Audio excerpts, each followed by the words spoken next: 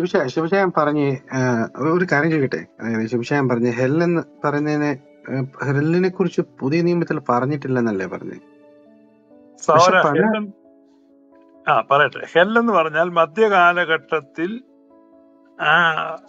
ഈ Saxon community ഈ നമ്മുടെ ഇംഗ്ലീഷ് പീപ്പിളിന്റെ ഇടയിലുണ്ടായ ഒരു മിത്തോളജിയാണ് നിങ്ങൾക്ക് ഈ മിത്തോളജികളെല്ലാം അറിയാമല്ലോ. അതിനകത്ത് ലോക്കി ലോക്കി എന്ന് പറഞ്ഞ ക്യാരക്ടറിന്റെ മകളാണ് ഹെല്ല് നരകത്തിന്റെ കാവൽക്കാരി ആ സ്ത്രീ. അപ്പൊ ആ വാക്ക് തന്നെ ഉണ്ടാകുന്ന മധ്യകാലഘട്ടത്തിൽ ബൈബിളിലെ ഹെല്ലൊന്നുമില്ല. അതൊക്കെ പിന്നീട് വന്നതാ.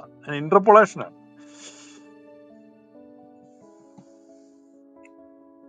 പക്ഷെ ശിവശായ യേശുക്രിസ്തു കൊടുക്കുന്ന പല പാരബിൾസിൽ യേശുക്രിസ്തു തന്നെ പറയുന്നുണ്ടല്ലോ. അവിടെ പല്ലുകടി ഉണ്ടാകും.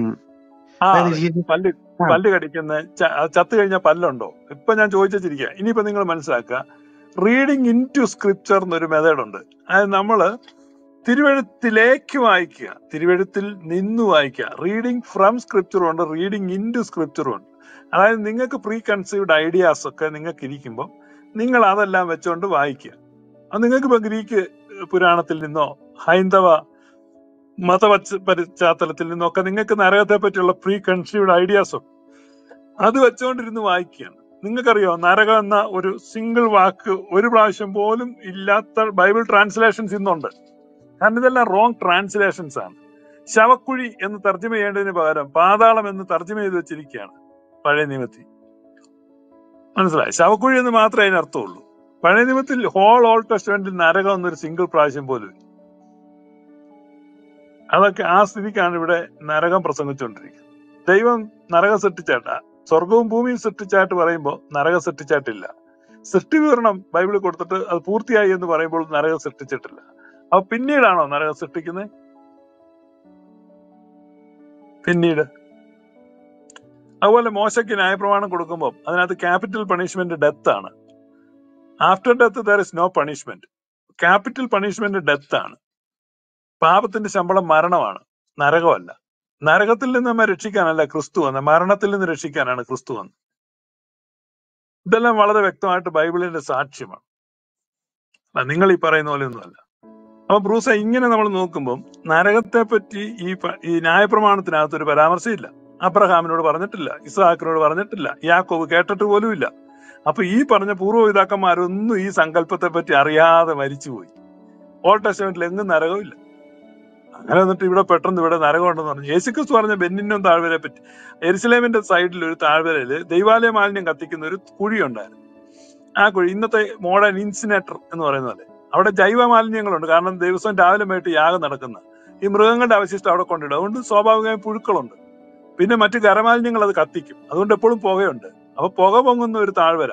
പിന്നെ ഈ പിന്നെ വധശിക്ഷയ്ക്ക് വിധിക്കുന്നവരെ അടക്കാൻ ആളില്ല. അതുകൊണ്ട് അവരുടെ മൃതദേഹവും ആ താഴ്വരയിലേക്ക് വലിച്ചങ്ങ് എറിയുക. അതുകൊണ്ട് എപ്പോഴും പുക പൊങ്ങുന്ന പുഴുക്കൾ നുളയ്ക്കുന്ന ഒരു താഴ്വര അവരുടെ കൺമുമ്പിലുണ്ടായിരുന്നു അപ്പൊ റോമൻ ഗവൺമെന്റ് അവിടെ ഭരിക്കുന്നത് കൊണ്ട് നിങ്ങൾ മര്യാദയ്ക്ക് നടന്നില്ലെങ്കിൽ you will ended up in that valley കാരണം നിങ്ങൾ വധശിക്ഷയ്ക്ക് വിധിക്കപ്പെടും പിടിക്കപ്പെടും. അതുകൊണ്ട് രണ്ട് കൈയും ഉള്ളവനായിട്ട് നീ ഞെളിഞ്ഞു നടന്ന് ആ നരകത്തിൽ പോയി. അതായത് ആ ബെൻഗിന്നോ താഴ്വരയിൽ പോയി വീഴുന്നതിലും ഒരു കൈ വെട്ടിക്കളഞ്ഞിട്ട് നീ ജീവനിൽ കിടക്കുന്നതാണ് എന്ന് പറഞ്ഞാൽ വെട്ടാനല്ല ഉദ്ദേശിച്ചത് നീ control your hands control your eyes control control yourself അങ്ങനെ നീ മര്യാദയ്ക്ക് നടന്നാൽ അവിടെ വീഴാതിരിക്കാമെന്ന് മാത്രമാണ് യേശു പറഞ്ഞത്. അതിനെയാണ് ദുർവ്യാഖ്യാനം ചെയ്യുന്നത്. ബ്രൂസ് സംസാരിച്ചോളൂ. ബ്രൂസിനോട് ഞാൻ പറഞ്ഞു അല്ല പല്ലുകടി ശിവശാ പറയണേ ആ പല്ല് കടിക്കാം സഹോര പല്ല് കടിക്കാം. ബ്രൂസ് പറയട്ടെ. അല്ല ശിവശായ അതായത് ഇപ്പം ശവക്കുഴിയാണ് ശിവശായം പറയുന്നതെങ്കിൽ അത് ദേഹത്തെ കൊല്ലാൻ കഴിയും എന്ന് നമുക്ക് പറയാം. പക്ഷേ മത്തായി പത്തിന്റെ ഇരുപത്തെട്ടിൽ പറയുന്നത് ദേഹിയെ കൊല്ലുവാൻ കഴിയാതെ ദേഹത്തെ കൊല്ലുന്നവരെ ഭയപ്പെടേണ്ട. ദേഹിയെയും ദേഹത്തെയും നരകത്തിൽ നശിപ്പിപ്പാൻ കഴിയുന്നവനെ തന്നെ ഭയപ്പെടുവീൻ. അപ്പൊ അങ്ങനെയാകുമ്പോ അവിടെ ദേഹിയെ കൊല്ലാൻ കഴിയുന്നതും ദേഹിയെയും ദേഹത്തെയും കൊല്ലാൻ കഴിയുന്ന ഒരു നരകമുണ്ടെന്നല്ലേ യേശുക്രിസ്തു പറഞ്ഞു വെക്കുന്നത്? ആ എന്താണ് ദേഹി എന്നുള്ളതിനെ പറ്റി നമ്മൾ മനസ്സിലാക്കണം. നമ്മുടെ ഗുഡ് നെയിമിനെ കുറിച്ചാണ് അവിടെ പറയുന്നത്. നമുക്ക് നല്ല പേര്.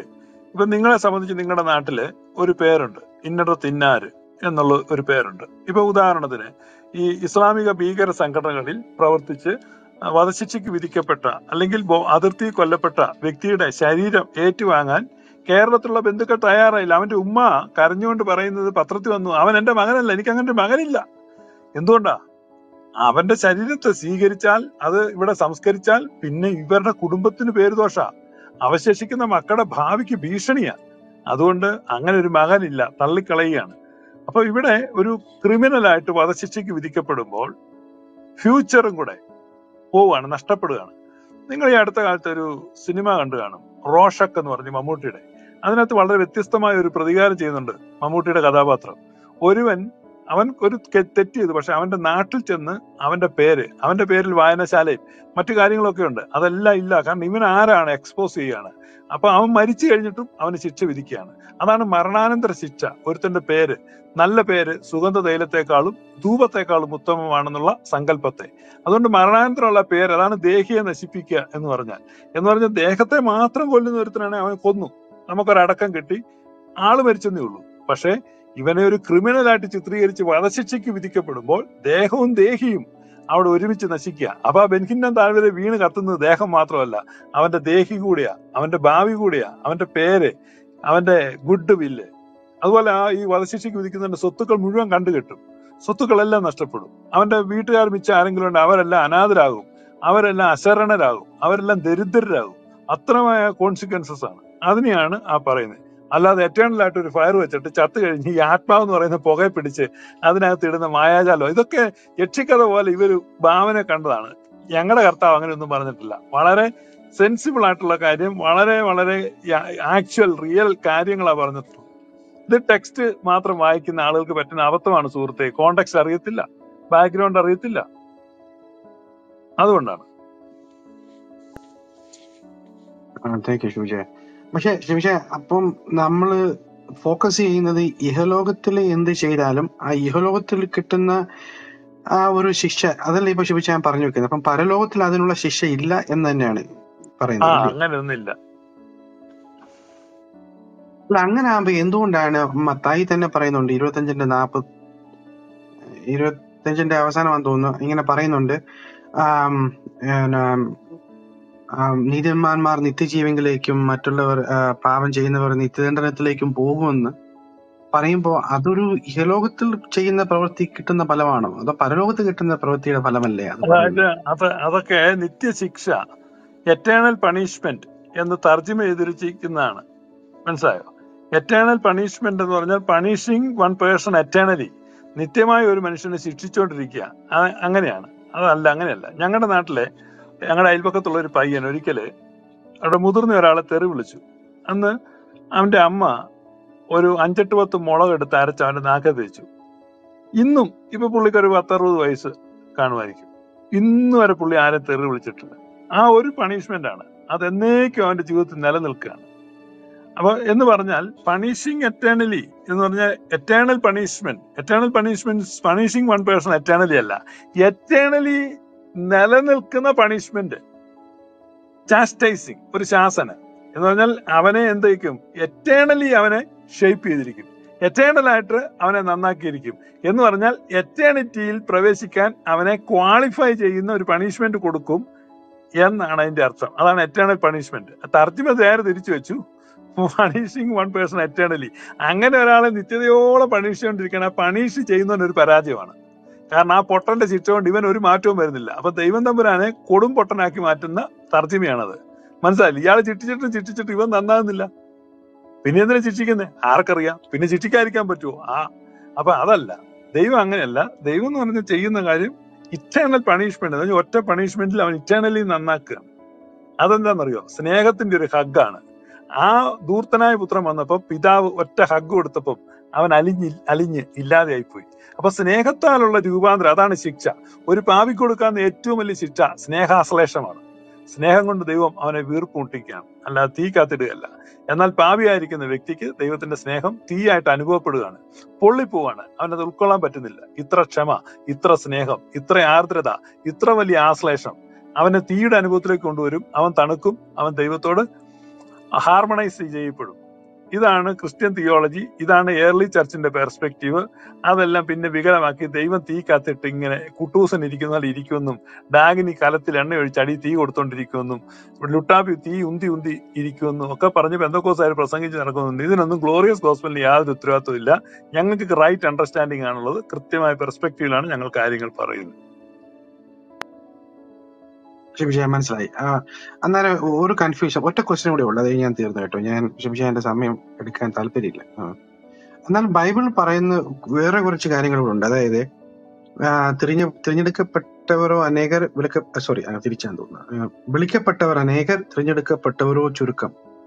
എന്ന് പറയുമ്പോൾ ഈ കർത്താവിന്റെ മാർഗത്തിലേക്ക് വിളിക്കപ്പെ വിളിക്കപ്പെട്ടവർ അനേകർ കാണും. പക്ഷെ അതിൽ നിന്ന് ചൂസ് ചെയ്യുന്ന ആൾക്കാർ വളരെ ചെറു കുറച്ചെന്നല്ലേ പറ ഉദ്ദേശിക്കുന്നത്.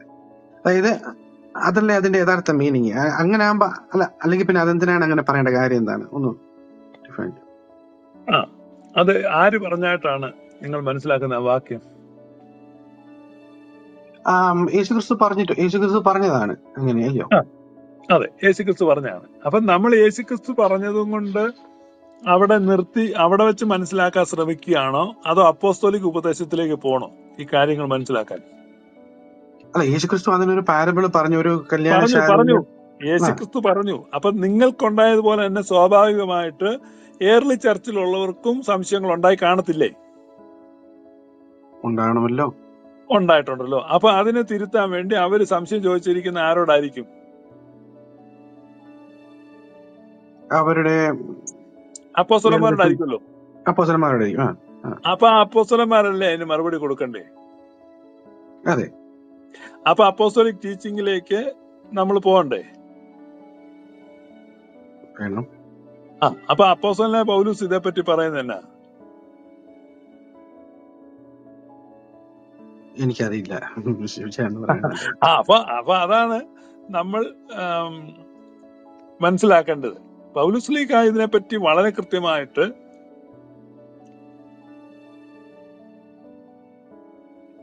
കേൾക്കാൻ മേല ആ പൗ കേക്കാവോ പൗലുസ്ലിയ ഇതേപ്പറ്റി ആ, വളരെ വ്യക്തമായിട്ട് നമ്മളെ പഠിപ്പിക്കുന്നുണ്ട്. അപ്പൊ അതുകൊണ്ട് ഞാൻ ആ ഭാഗം വായിക്കാം. പൗലുസ് അപ്പോസലൻ അതേപ്പറ്റി പറയുന്നത്. അത് റോമാലേഖനമാണ്. അവൻ മുന്ന എട്ടാം അധ്യായം ഇരുപത്തി ഒമ്പതാം വാക്യം. അവൻ മുന്നറിഞ്ഞവരെ തന്റെ പുത്രൻ അനേക സഹോദരന്മാരിൽ ആദിജാതനാകേണ്ടതിന് അവന്റെ സ്വരൂപത്തോട് അനുരൂപനാകാൻ മുൻ നിയമിച്ചുമിരിക്കുന്നു. മുൻ നിയമിച്ചവരെ വിളിച്ചു. അപ്പൊ വിളിച്ചു എന്ന് പറയുമ്പോൾ ആരെ വിളിച്ചത്? മുൻ നിയമിച്ചവരെ. വിളിച്ചവരെ നീതീകരിച്ചു. മുൻ നിയമിച്ചവരിൽ ചിലരെ വിളിച്ചു എന്നല്ല. മുൻ നിയമിച്ചവരെ മുഴുവൻ വിളിച്ചു. വിളിച്ചവരിൽ ചിലരെ നീതീകരിച്ചെന്നല്ല വിളിച്ചവരെ നീതീകരിച്ചും. നീതീകരിച്ചവർ ചിലരെ തേജസ്കരിക്കുന്നല്ല നീതീകരിച്ചവരെ തേജസ്കരിച്ചു ഇരിക്കുന്നു അപ്പോൾ ദൈവത്തെ സ്നേഹിക്കുന്നവർക്ക് വിളിക്കപ്പെട്ടവർക്ക് സകലവും നന്മയ്ക്കായി കൂടി വ്യാപരിക്കുന്നു എന്ന് നാം അറിയുന്നു. അവൻ മുന്നറിഞ്ഞവരെ വിളിച്ചും മുന്നറിഞ്ഞവരെ മുൻ നിയമിച്ചും മുൻ നിയമിച്ചവരെ വിളിച്ചും വിളിച്ചവരെ നീതീകരിച്ചും നീതീകരിച്ചവരെ തേജസ്കരിച്ചും ഇരിക്കുന്നു. അപ്പൊ അതിനകത്ത് ഒരു ഒമിഷനും ഇല്ല. ഓൾ ഇൻക്ലൂസീവ് ആണ്. അവിടെയാണ് അവിടെ നമ്മൾ മനസ്സിലാക്കുന്നത് ഏതെങ്കിലും ഒരു വാക്ക് എടുത്തിട്ട് അത് വെച്ച് നമ്മൾ ഒരർത്ഥത്തിൽ ഒരു കൺക്ലൂഷനിലേക്ക് കുതിക്കരുത്.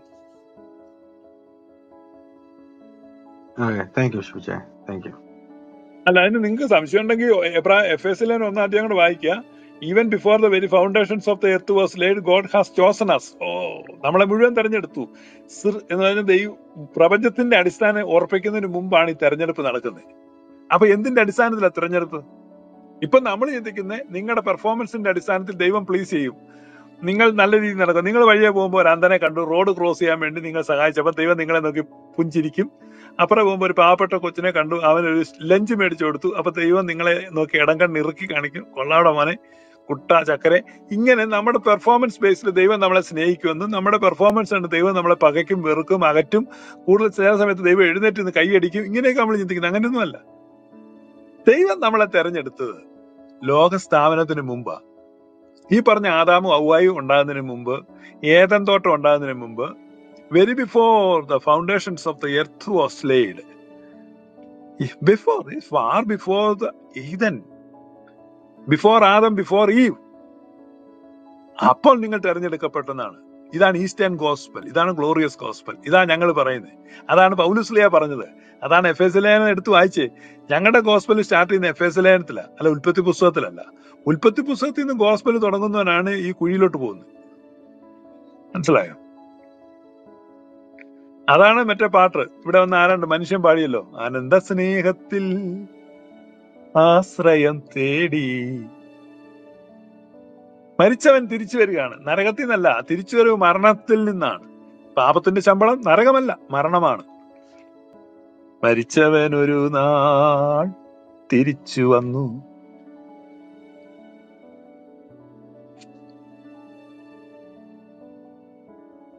അല്ല ശിവജാന അങ്ങനെ പറയുകയാണെങ്കിൽ ലോകസ്ഥാപനത്തിന് മുന്നേ നമ്മൾ തിരഞ്ഞെടുത്തു എന്ന് പറയുകയാണെങ്കിൽ ആ എപേസിയർ ഒന്നിന്റെ ഏഴിൽ പറയുന്നത് ഇങ്ങനെയാണ്. അവനിൽ നമുക്ക് അവന്റെ രക്തത്താൽ അതിക്രമങ്ങളുടെ മോചനമെന്ന വീണ്ടെടുപ്പുണ്ട്. അപ്പം അങ്ങനെയാണ് മുൻപേ കണ്ടിരുന്നതെങ്കിൽ പിന്നെ എന്തിനാണ് അതിക്രമങ്ങളുടെ മോചനം അവന്റെ രക്തത്താൽ ഉണ്ടെന്ന് പറയപ്പെടേണ്ട കാര്യം എന്താണ്? ആ തെരഞ്ഞെടുക്കപ്പെട്ട നമുക്ക് സംഭവിച്ച വീഴ്ചയിൽ നിന്നാണ് ആ മോചനം കൊടുക്കുന്നത്. അപ്പൊ തെരഞ്ഞെടുത്ത ആരെയാണ്? ഈ തെരഞ്ഞെടുപ്പ് took place even before the foundations of the earth was laid. Then what was the criteria of that election? ഒരു ക്രൈറ്റീരിയയും ഇല്ല. കാരണം നിങ്ങളൊന്നും പെർഫോം ചെയ്തിട്ടില്ല. നിങ്ങളൊന്നും പ്ലീഡ് ചെയ്തിട്ടില്ല. നിങ്ങളൊന്നും കൺഫസ് ചെയ്തില്ല it is not based upon your confession it is not based upon your performance കാരണം it is not based upon your character not based upon your behaviour കാരണം ഇതൊന്നുമില്ല. പ്രപഞ്ചം ഉരുവാകും മുമ്പ് നിങ്ങളെ തെരഞ്ഞെടുത്തു കഴിഞ്ഞു. So it's total and complete and perfect ആയിട്ടുള്ള ഒരു ഇലക്ഷൻ ആണ്. You are in not because of you അതാണ് എഫ് എസ് ലാൻഡ് പറയുന്നത്. അതും നമ്മൾ കാരണമല്ല നമ്മുടെ പ്രവൃത്തികൾ കാരണമല്ല നമ്മുടെ വിശ്വാസം കാരണമല്ല. Totally it is his mercy and grace രണ്ടാം അധ്യായത്തിൽ പറയുന്നുണ്ട് എഫ് എസ് ലേനം നോട്ട് ബിക്കോസ് ഓഫ് യു ഞാൻ നിമിത്തമല്ല. ആ അണ്ടർസ്റ്റാൻഡിങ് വരുമ്പോഴാണ് റിയലി നമ്മൾ ഹമ്പിൾ ആകുന്നത് ദൈവസന്നിധി. അതാണ് pouring out our hearts real true worship ഞാനത് അക്നോളജ് ചെയ്യുന്നുണ്ട്. ഗ്ലോറിയസ് ഗോസ്പിലുള്ള എല്ലാവരും അക്നോളജ് ചെയ്യുന്നുണ്ട്. പെന്തക്കോസുകാർ ഞങ്ങളെ വന്ന് കുറ്റം പറയുന്നുണ്ട്. പക്ഷെ അവർക്ക് ഈ ട്രൂ അണ്ടർസ്റ്റാൻഡിങ് ഇല്ല. It is not because of you it is not because of your works your faith your behaviour your performance nothing not because of anything of those things but purely based upon His grace, not any of your merits. I have no merits.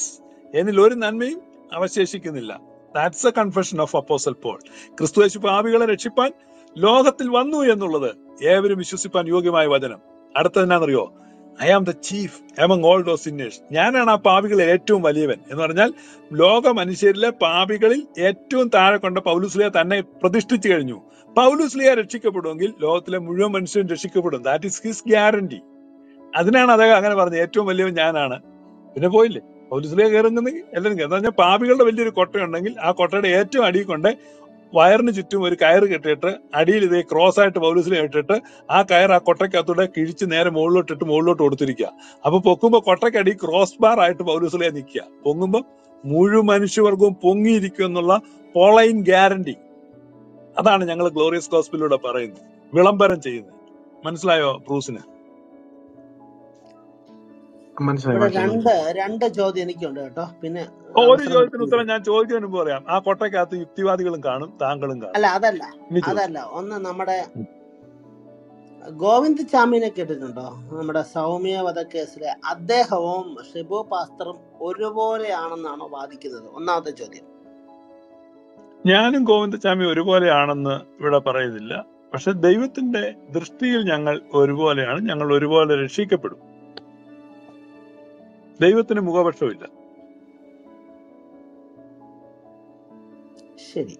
ഇനി രണ്ടാമത്തെ ചോദ്യം ചോദിക്കാം. അപ്പം ഇത് മുൻകൂട്ടി നിർണയിക്കപ്പെട്ടു okay.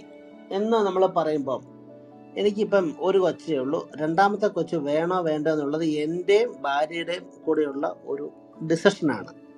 ഇതിനകത്ത് ഞങ്ങൾക്കൊരു കൊച്ചുണ്ടായാൽ ആ ഒരു പ്രോസസ്സിൽ എവിടെയാണ് ഈ മുൻകൂട്ടി നിർണയിക്കപ്പെടുന്നത്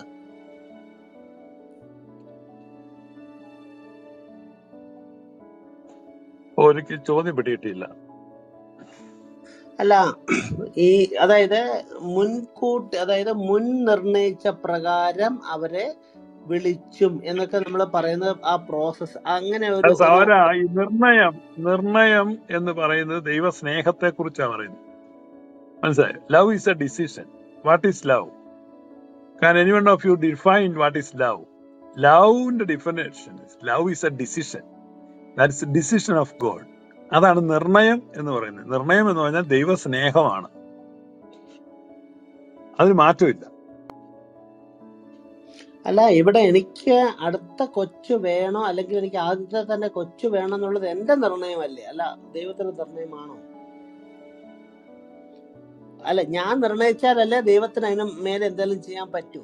എന്ന് വെച്ചാൽ ഒരു കൊച്ചുണ്ടാകുക എന്നുള്ള ഒരു പ്രോസസ്സിൽ അപ്പനും അമ്മയാണ് അതിനകത്ത് ഇമ്പോർട്ടന്റ് ആയ ഫാക്ടേഴ്സ് ഇവർ നിർണയിക്കുന്നതിന് അപ്പുറമാണോ ദൈവത്തിന്റെ നിർണയം എന്നുള്ളതാണ് എന്റെ ചോദ്യം. അത് ദൈവത്തെയും നിങ്ങളെയും കൂടെ നിങ്ങൾ രണ്ടായിട്ട് കാണുന്നുണ്ട്. നിങ്ങൾ ദൈവത്തിന്റെ ഒരു പാർട്ട് തന്നെയാണ് ദൈവാംശം നിങ്ങളിലുണ്ട്. അപ്പൊ ഈ കാര്യത്തിലുള്ള ഡിസിസീവ് അതോറിറ്റി നിങ്ങൾക്ക് ദൈവം തന്നിട്ടുണ്ട്. അതാണ് ഒരു പുരുഷൻ എന്ന നിലയ്ക്ക് നിങ്ങൾ ദൈവത്തിന്റെ കിരീടമാണ് തേജസ് ആണെന്ന് പൗലൂസിലെ കൊരുതിലേറ്റ് പറഞ്ഞിട്ടുണ്ട്. പുരുഷൻ സ്ത്രീയുടെ ശിരസും ദൈവത്തിന്റെ തേജസ്സുമാകുന്നു. So you can decide it you are acting on behalf of God മനസ്സിലായില്ലേ? യുക്തിവാദിയുടെ ആ പോയിന്റ് പൊളിഞ്ഞു കേട്ടോ. യുക്തിവാദികളുടെ വലിയൊരു പോയിന്റ് അതാണ്ട് കിടക്കുന്നു. അങ്ങനെ നമ്മുടെ ഈ ഇതിനകത്തുനിന്ന് ഒരു ക്വസ്റ്റ്യൻ ആയിട്ടാണ് ചോദിച്ചത്. അല്ലെ യുക്തിവാദികളൊക്കെ മാറ്റി നിർത്താം അത് യുക്തിവാദികൾ ചോദിക്കുന്ന ചോദ്യമാണ് സുഹൃത്തെ. നിങ്ങളിപ്പോ പറഞ്ഞ് നിങ്ങൾ ഇപ്പൊ നിങ്ങൾക്ക് ഉത്തരം കിട്ടിയോ? അതോ ഞാൻ വീണ്ടും ക്ലാരിഫൈ ചെയ്യണോ? അല്ല ഇപ്പൊ ഞാൻ എന്നിലൂടെ യുക്തിവാദിയായി എന്നിലൂടെ പോലും ദൈവമാണ് പ്രവർത്തിക്കുന്നതെന്നാണ് നിങ്ങൾ പറഞ്ഞു വരുന്ന point hundred percent hundred percent അല്ല അങ്ങനെയൊക്കെ ഒരു ജനറൽ ആയിട്ട് ഉത്തരം പറഞ്ഞ പിന്നെ ഒരു യുക്തിവാദിക്കും ഉത്തരം പറയാനൊന്നും ഉണ്ടാവത്തില്ല. ഒരു യുക്തിവാദിക്കും ഞങ്ങളുടെ മുമ്പിൽ നിലനിൽപ്പില്ല. ദാറ്റ്സ് ഇറ്റ് സകല യുക്തിവാദികളെ കാരണം ഞങ്ങൾ അടിച്ച് നടു ആ നിങ്ങൾ വേണേ ഓപ്പൺ ഡിബേറ്റ് വെച്ചോ. സകല യുക്തിവാദികളെ ഞങ്ങൾ നടു അടിച്ചു വിട്ടിരിക്കും. ഇതൊരു ചലഞ്ചാണ് ഓപ്പൺ ഓപ്പൺ ചലഞ്ചാണ് സുഹൃത്തെ. ഞങ്ങളുടെ തിയോളജി തിയോളജി എന്ന് പറഞ്ഞു കഴിഞ്ഞാൽ ചെറിയ തിയോളജി അല്ല. ഇത് മതം കൊണ്ടുവരുന്ന അവന്മാരുടെ ലാഭക്കൊതിക്ക് വേണ്ടി ഉണ്ടാക്കിയ തിയോളജി ഒന്നുമല്ല. പ്യുവർ അൺഡിഫൈൽഡ് അൺഅഡൾട്ടേഡ് ഗോസ്പൽ സാക്ഷാൽ അതെ സാക്ഷാൽ സാത്താൻ ഒരു നിങ്ങളുടെ ആ ഇനിയിപ്പോ അവസാനം അതേ ഉള്ളൂ. ഞാൻ സാത്താനാണെന്ന്. ആയിക്കോട്ടെ സോ ചെയ്ത് കേട്ടോ.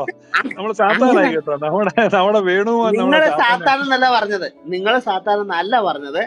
ആണെങ്കിൽ പോലും ഇപ്പൊ നിങ്ങൾ അവരെ ഉൾക്കൊള്ളുന്ന രീതിയിലാണ് സംസാരിക്കുന്നതെങ്കിൽ എങ്കിൽ പിന്നെ ദൈവം ദൈവത്തിന്റെ സ്നേഹത്തെയാണ് ഞങ്ങൾ പ്രസംഗിക്കുന്നത്. ദൈവം എല്ലാരും ഉൾക്കൊള്ളുന്നു. അല്ലാതെ കുറെ പേരെ വേറെ വേറെ